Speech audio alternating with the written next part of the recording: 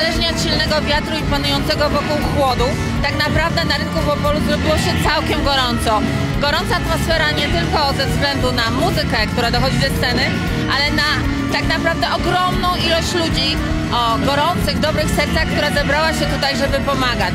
O godzinie 20 symbolicznie stąd z rynku będzie wypuszczone światełko do nieba, a potem jeszcze dalej koncert.